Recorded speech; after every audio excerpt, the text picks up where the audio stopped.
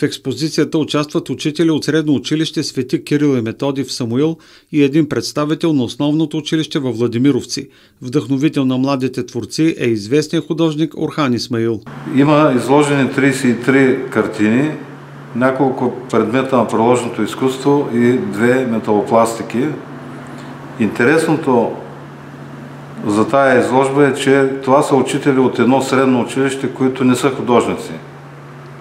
Девет от тях са жени и двама са мъже, водени от директора си Орхан Исмел, който разбира се е художник и така един от водещите художници в региона.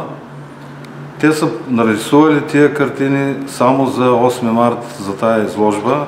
За първи път хващат четки и се получава. Теми на творбите са емоционалния свят и чувствата на жената. Всеки художник е изразил себе си чрез своите първи стъпки в живописта и приложното изкуство. Само една учителка е предложила по-абстрактни картини, в които влага настоящето и бъдещето. Има дарения, няколко дарения, които ще останат в библиотеката след приключване на изложбата, а също така бе направено едно дарение за дом за стари хора. Това е тая картина.